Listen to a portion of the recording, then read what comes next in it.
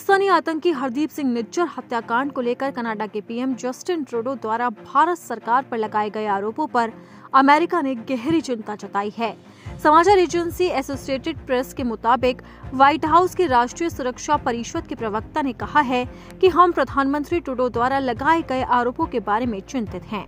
America का कहना है कि हम अपने कनाडाई साझेदारों के साथ लगातार संपर्क में रहते हैं ये महत्वपूर्ण है कि कनाडा की जाँच आगे बढ़े और अपराधियों को न्याय के कटघरे में लाया जाए पीएम ट्रूडो ने सोमवार को कनाडाई संसद में बोलते हुए कहा कि ऐसे विश्वसनीय आरोप हैं कि भारत सरकार का खालिस्तान टाइगर फोर्स के प्रमुख हरदीप सिंह निज्जर की हत्या से संबंध हो सकता है।